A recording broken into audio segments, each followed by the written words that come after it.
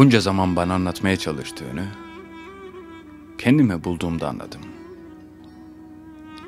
Herkesin mutlu olmak için başka bir yolu varmış. Kendi yolumu çizdiğimde anladım. Bir tek yaşanarak öğrenirmiş hayat, okuyarak, dinleyerek değil. Bildiklerini bana neden anlatmadığını anladım. Yüreğinde aşk olmadan geçen her gün kayıpmış. Aşk peşinden neden yalın ayak koştuğunu anladım. Acı doruğa ulaştığında gözyaşı gelmezmiş gözlerden. Neden hiç ağlamadığını anladım.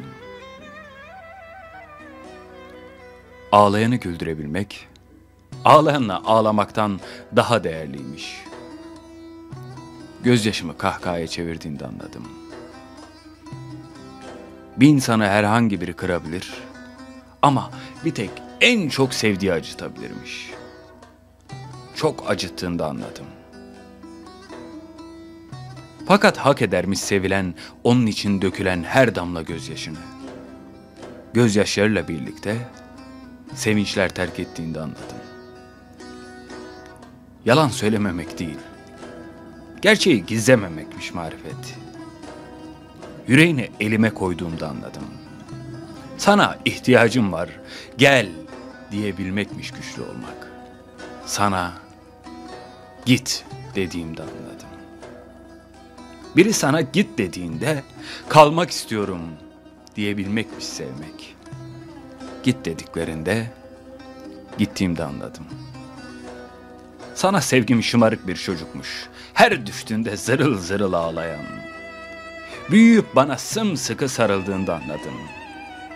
Özür dilemek değil, affet beni diye haykırmak istemekmiş pişman olmak. Gerçekten pişman olduğumda anladım. Ve gurur, gurur kaybedenlerin, acizlerin maskesiymiş. Sevgi dolu yüreklerin gururu olmazmış. Yüreğimde sevgi bulduğunda anladım. Ölürcesine isteyen beklemez, sadece umut edermiş bir gün affedilmeyi. Beni affetmeni, ölürcesine istediğimde anladım. Sevgi emekmiş. Emekse vazgeçmeyecek kadar ama özgür bırakacak kadar sevmekmiş.